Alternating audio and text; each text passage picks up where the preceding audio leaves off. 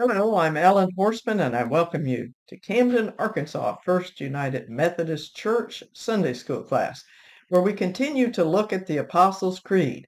Uh, before we do that, let me get started uh, by reading you just a short little excerpt from First Peter chapter 3.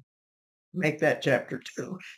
Peter says, But you are a chosen race, a royal priesthood, a holy nation. Who's Peter talking to? He's talking to the church or the members of the church. So hear what Peter says to you, church. You are a chosen race, a royal priesthood, a holy nation, a people who are God's own possession. You have become this people so that you may speak of the wonderful acts of the one who called you out of darkness into his amazing light. Once you weren't a people, but now you are God's people. Once you had not received mercy, but now you have received mercy. And so we turn to that part of the Apostles' Creed where we say, I believe in the Holy Catholic Church, the communion of saints. So that's what we're looking at, the Holy Catholic Church, the communion of saints. So let's start first with this idea, the Holy Church can you imagine what people might say looking at your church if you're calling it the Holy Church? What do we mean by that? I like the way that uh, United Methodist pastor Reverend, what's his name, James A. Harnish spoke about this. He said, now sometimes it's hard to believe in the Holy Catholic Church and the communion of saints. Oh, it's easy enough when you spiritualize the church as the mystical union all those who believe in Christ.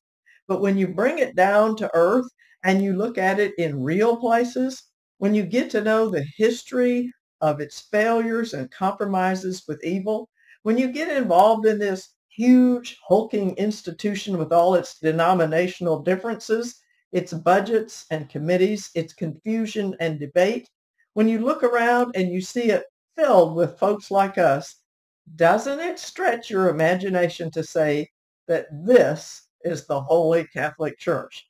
This is the communion of saints. Aren't there times when it seems that the church is a lot like Noah's Ark? The only way to stand the stench on the inside is to remember the storm on the outside. So, yes, it's kind of cute how he says that, but Reverend Harnish definitely has a point the church doesn't always seem so holy or so Catholic. Uh, well, we'll get to Catholic in a minute, but it doesn't always seem so holy. Not when we look at it like that. Uh, but what does holy mean anyway? When we think of it, I guess we always have the picture of the halos and people being all saintly and everything. But holy doesn't really have that meaning. Holy actually means set apart or set apart for God. And so the word holy was applied to many things. Uh, the, the, the tabernacle was holy because it was set apart for God. The temple was holy because it was something special, something set apart for God. And God called the Israelites holy, set apart for God. Now, that doesn't mean the Israelites were better than other people. Read their history in the Old Testament, and you'll see that they were but they were people who were set apart. God says from the very beginning when he calls Abraham, and then he continues to say this to Abraham's descendants, that they are going to be a blessing to all nations. So they are set apart, they are called out so that they can be a special blessing to all nations, connecting other people with God. Uh, Reverend Harnish, to go back to him again, says, to say that a church is holy is to say that ordinary people like us have been called out by God for God's purposes. We are chosen not for privilege, but for service, to be a living model of the kingdom of God, which is being fulfilled on earth, even as it already is fulfilled in heaven. So that's what it means to be holy. We're called out, we're set apart to be God's own people. So if the church actually belongs to God and is set apart for God's own purposes, then we members should not be asking ourselves, what can my church do for me? Or, or saying things like, well, I'm not getting that much out of my church. Instead, well, the real thing we should be asking is, what can I do for God's church? What can I do through and with the church for my God instead of what can it do for me? Okay, so we've taken care of holy. What about Catholic? Of course, a, lot of times when people hear that word, they narrow it down to one denomination. But the word Catholic, if you if you ever do the Apostles' Creed in a hymn book, you'll always see the little asterisk, and you look down and it says universal, and that's a good translation. Catholic means universal, worldwide. Um, I think Hamilton said that it comes from a compound of two words that together mean everywhere. So it's the church everywhere. The Catholic Church then is every Christian church, every Christian congregation, every denomination, every church in every land in the entire world. That's the Catholic Church, the universal church. It is what we sometimes refer to as the Church of Christ.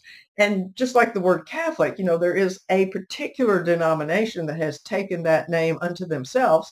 But in, in a larger sense, when we talk about the Church of Christ, we're talking about Christians everywhere. So that's what we mean by the Catholic Church. Uh, the Catholic Church, the church, the Church of Christ, was actually intended to be united, to be one. That's what Jesus longed for. Look at his uh, prayer in the, I'll get it out here in a minute, the 17th chapter of John, you have this beautiful long prayer of Jesus. And in that prayer, Jesus prays for his disciples that they may be one, he says, Heavenly Father, as you and I are one. That's what Jesus desired, that we would be one church, one people, united together. Uh, he, Jesus tried to teach his disciples and through them to teach us from the very beginning that we were to love one another, that we are to forgive one another, that we are not to judge one another. We are meant to be one. Uh, William Barclay says that that the term Catholic and that the Catholic Church, when it came along, the universal church, removed all barriers. He said at that point in the ancient world, it's like every nation and sometimes every city had its own God. So we have our God, you have your God, and and, and they're they didn't. Uh, I'm I'm losing my words here, but they were separated from each other. Uh, he said that uh, religion was a nationalistic thing, and the line was rigidly drawn between, say, like Greek and Jew or Greek and bar- barbarian, between slave and free, between man and woman. These they didn't merge with each other. They didn't worship together. They had these very strict lines. And so he says when we begin to see in the New Testament the idea of a Catholic church that reaches out, this is a way of bringing people together. That's why Paul says uh, there is no longer Greek and Jew, circumcised and uncircumcised, barbarian, Scythian, enslaved and free, but Christ is all and in all. That's from Colossians, and he says something very similar in Galatians. So Barclay, uh, William Barclay adds that the great condemnation of sex, and I'm saying S-E-C-T-S, the great com- uh, condemnation of anything that would be a sect is not that they may have bad theology, although that's not a good thing to have bad th- theology, but more importantly, a, a, a sect, a breakaway, it, fra- it splits into fragments that very thing which should be united into one. He says a church which is less than universal is a contradiction in church. I mean, not a church. Let me say that again. A church which is less than universal is a contradiction in terms.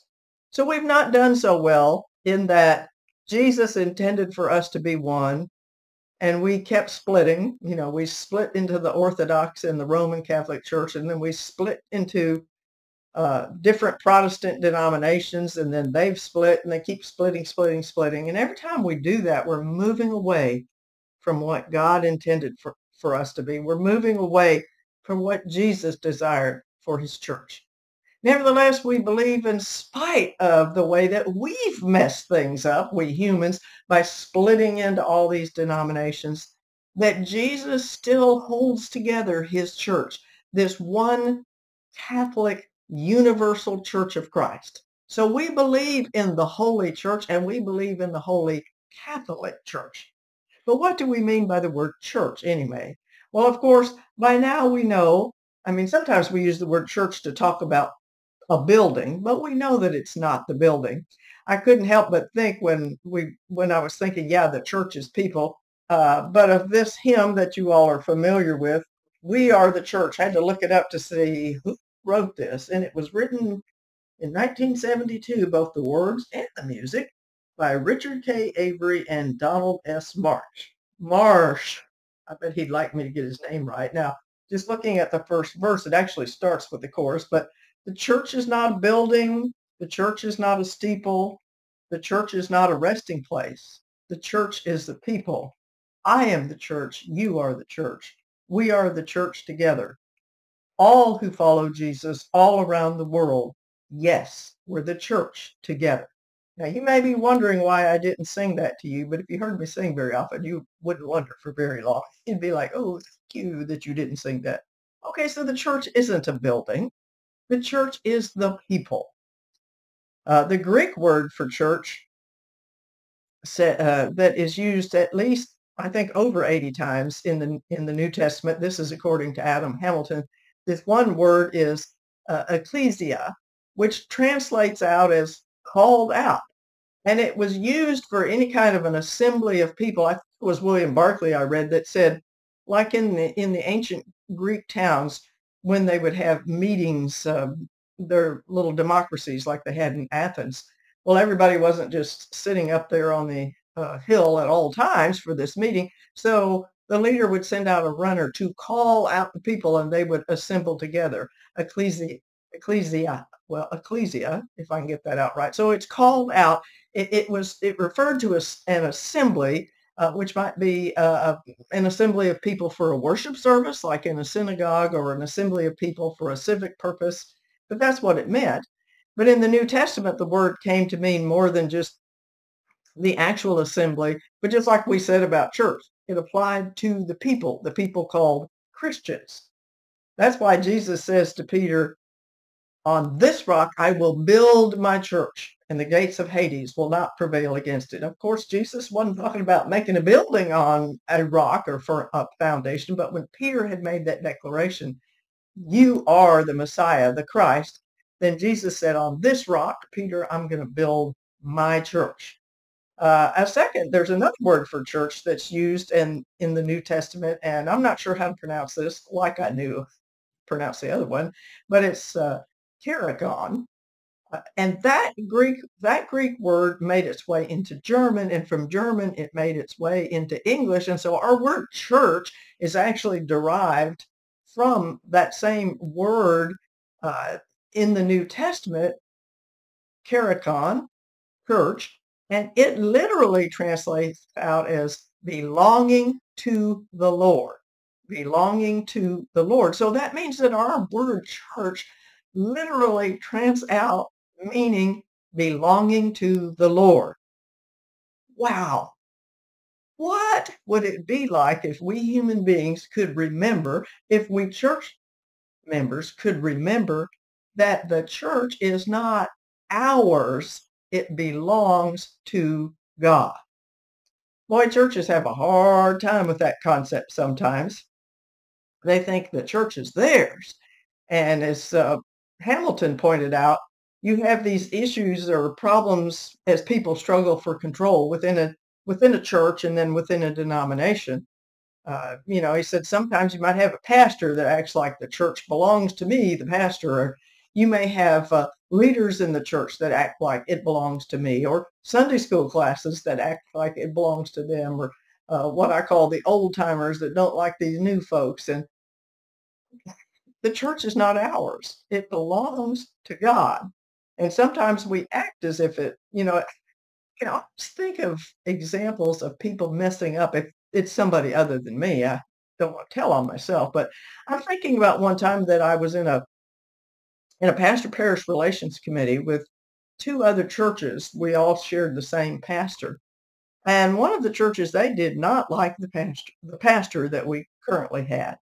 And I remember listening to them telling the district superintendent, this is our church. We built this church up. We took this church from small and we grew this church. And of course, since it wasn't, since I wasn't the one speaking, I remember thinking to myself then, you built the church? You grew the church? Of course not. The church grew because of the Holy Spirit. The church was built on the foundation of Jesus Christ our Lord. The church does not belong to us. It belongs to God. And so, as Hamilton says, that means that the driving mission of every local church should be to discern the will of Christ above all else and then to do Christ's will. It's not about us. It's about what Jesus Christ desires from us. But you know, speaking of church, do we really need a church as individuals? I think there's a lot of people that believe in God, they believe in Jesus, they believe in the Holy Spirit, but they're not so sure that they believe in the Holy Catholic Church in the sense that they believe that they need to be involved in a church or or more than just involved or more than just being a member. Sometimes they don't think they need to be a member. Sometimes they think they can be a member, but they don't need to come to church. Uh, not, not everybody comes to that decision the same way. I mean, sometimes you have people who have been deeply wounded by a church, and that's a difficult thing. And I think if they've been hurt too badly by one church, it may be that they, in order to feel comfortable and to get back worshiping, they might need to go to another church, at least for a while, if not permanently. But I think maybe more often than that, people drift away. Now, we, of course, we had some big time drifting because of COVID. It got easy to get in the habit of not physically showing up in church, but people drift away for a lot of reasons. They don't mean to miss, and then they miss this time and that time, and then it becomes a habit. But we are missing something when we miss church. Now, I have to tell you, as a person who has really missed some of our some of our families that used to come to church with us every week, you are being missed, but you're missing out on something first. Well, why do we need a church? If I believe in Jesus Christ, isn't that enough? Do I really need to be a part of a church? Do I really need to go to church and, and to go on a regular basis? Well, I want to ask you this question.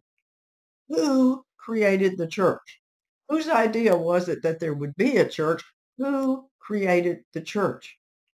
Well, it was Jesus who created the church you hear him saying to Peter, on this rock, I'm going to build my church. Jesus intended for there to be a church. Jesus intended for us to be part of that church. And you might say, well, wait a minute now, he didn't have church. Yes, Jesus was a regular synagogue attender, but he also called out disciples and he prepared them and he told them he was going to build the church upon their faith. He started that church. And look how deliberate he was about it. He called out disciples. He he gave them a mission. He uh, he he he basically told them that they were going to have to be set apart, that they were going to have to be different. He said, "You are going. You are the light of the world. You are the salt of the earth." He charged them to take that obligation seriously to be a light of the world, that they would live in a way that was so loving and so lovely that they would draw other people to Jesus Christ.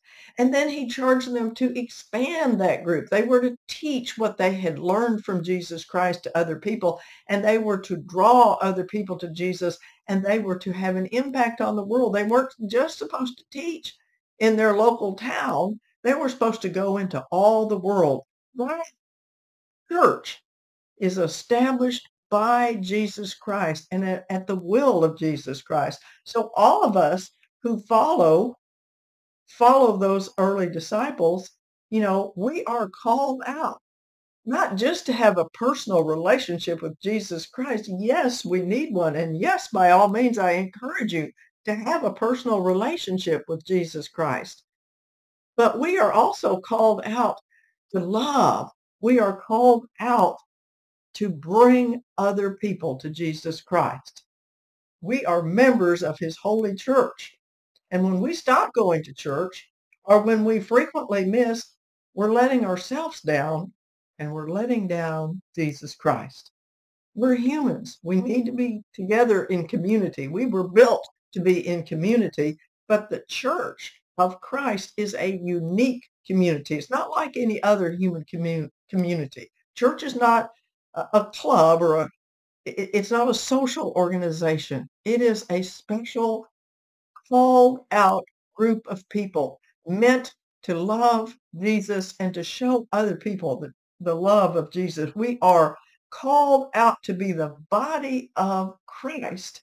And Hamilton says that we all need community, but that uh, when we don't become a part of a church or when we quit going to church, he said many essential things to the Christian spiritual life are lost when we don't have a community of others who are holding us accountable, helping us to grow. People who, who need us to serve, who are challenging us to care for others, to pray with others, and just messing up this quotation. I'm going to start over again because I'm getting my pronouns wrong. Ding. Erase what you just heard and listen to this. Here's Hamilton. Many essential things to the Christian spiritual uh, life are lost when you don't have a community of others who are holding you accountable, helping you grow, needing you to serve, challenging you to care for others, praying with and for you, and giving structure to you, your Christian life. It's better if I get it right. And I'm sorry, my cat was trying to bite my hand, so I got a little distracted. You know, the church is a family. You've heard people say that, and it should be a family. But families come with blessings. Families also come with responsibilities. You don't just quit on your family. Families care for one another and they work for the good of one another and they support one another. And as members of a church, we need to take our family responsibility seriously. That means we need to look around and see if there are people that look like they're uncomfortable. They look like they need someone to to uh, what's the word to, to encourage them to make them feel welcome uh, we need to see if there's someone who needs checking on we need to see if there's someone who needs visiting we need to provide loving support non-judgmental support uh, for the members of our family. So uh, and Hamilton says if you have trouble seeing your church as a caring family or a community that follows Jesus, that cares for one another, that takes care of each other, then what Hamilton says that he'll ask of people when they say that to him, he says, what are you doing to help it be this kind of community? He goes on to say that caring communities are made up of people who go the extra mile, uh, who give up their time to serve others, who go out of their way to bless others. And it only takes a handful of people like that to inspire other people to do the same. So what do we say to those who say they don't need a church. Now, I marked page 116 and 17 in Hamilton's book because I guess I thought he says this better than I do. And I better get with it. I'm taking too long. Don't leave me because this is a long lesson. Now, Hamilton says occasionally I hear people say they don't need the church. I don't want to ask them, really, you don't need encouragement from others? You don't need the blessings of worship and Eucharist, a message drawn from the scriptures, or a congregation that, like a family, stands together? and has a greater impact on the world as a group than they could alone. But even if, if you found some way to gain all these benefits without the church, I would still say to a person, if you are a follower of Jesus, it's not just that you need the church, but that the church needs you. There are people at the church who need you to show up, to offer a word of encouragement, to teach a class, to lead a support group, or to just stand at the door and welcome people. The church was not a human invention. It was founded by God. It is the temple of the Holy Spirit. It is a community that belongs to God. We were meant to be the church. We are the body of Christ in the world. We are the hands and feet of Jesus. And we do this best ministering to a hurting world, helping those in need when we do it together as a church. And finally, and I've taken a lot of time, so let me see if I can very quickly talk about the communion of saints. First, when we hear the word saints, we always have to laugh because we, we think of the people with the halos. The word for saint was the, from the same root as the word for holy. So it means set out or called out, belonging to God or set apart for God. So when we say the communion of saints, we're not talking about people with halos. We're talking about ordinary, everyday Christians. If you're a member of a church, you are the saints of the church.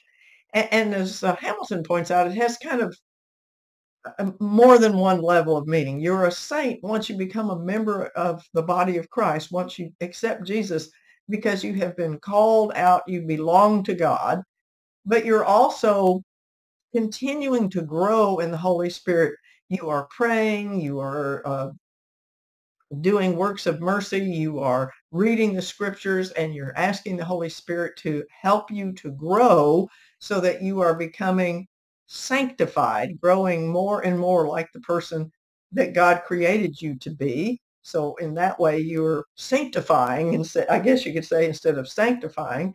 And then Hamilton said that finally, when we pass from this life into the next, the Holy Spirit finally completes that work in us. He finally and completely sanctifies us so that uh, in heaven we are finally and fully the saints that God intended us to be. But the communion of saints, which deals with us church members, also means the, the great body of people who have gone on before us. And, and we are in communion with them. And I just love the way that Hamilton talked about this. I'm going to flip around here. On page 124, I'm just going to read parts of what he says here. He says the last thing to note about the phrase communion of saints involves the word communion in one of the most beautiful ideas in Christian theology. The idea is that those who are becoming saints here on earth and those who have become entirely sanctified in heaven still commune together. Now he goes on to say, no, I don't think that the people in heaven necessarily are watching us every minute of the day. And yet, he said, I still believe uh, that our loved ones who have died continue to love and care for us and await the day when we will be reunited with them. I think they do pray for us.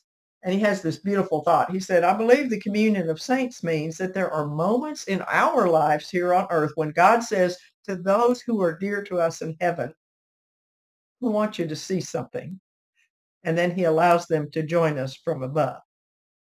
He says, Hamilton does, that when Christians gather for worship, we enter into one of those thin spaces where heaven and earth meet.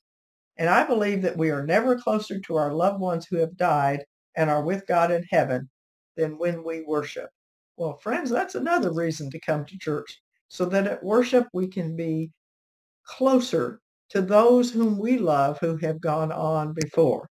Uh, we are set apart to be members of the church, and we are part of that communion of saints. And I think that uh, there's no better way that that's ever been put than it was in, in Hebrews. You remember in the 11th chapter of Hebrews, the writer talked about all these people of faith that had gone before. And as he moves into what we call the 12th chapter, the writer says, Therefore, since we are surrounded by so great a cloud of witnesses, let us lay aside every weight and sin that clings so closely, and let us run with perseverance the race that is set before us looking to Jesus, the pioneer and perfecter of our faith, who for the joy that was set before him endured the cross, disregarding its shame. We are part of this great cloud of witnesses who have gone before us, who have worked to help build up the body of Christ. We are part, and that cloud of witnesses is with us as we struggle today. Yes, we believe in the holy Catholic Church and in the communion of saints. May God bless you all this week, my dear friends and communion of saints. Bye bye.